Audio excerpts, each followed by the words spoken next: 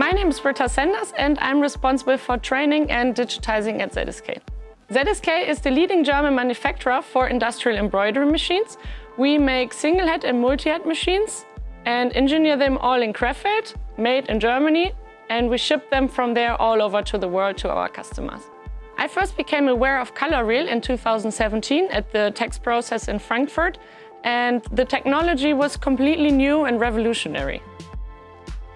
Finally now in 2021 we start with our joint project, Coloreel thread coloring system together with our ZSK embroidery machine. I would say that Coloreel builds the bridge between the process of the printing and the embroidery process, coming with the advantage of both.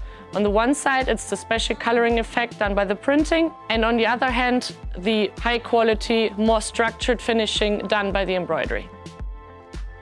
Coloreel is an additional technology that embroiderers can use to extend their product portfolio and create something very unique for their customers that no one else can do in the industry.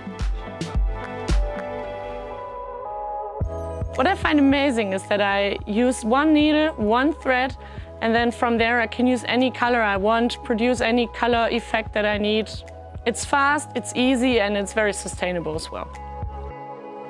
The Coloreel technology is basically an inkjet printer placed above the embroidery machine. Here in our case for the testing we have chosen our sprint model, a single head machine. As you're stitching, the Coloreel unit instantly colors the thread then according to the design that you're loading to the unit. After our first week together, we realized that the ZSK machines and the Coloreel unit work very well together.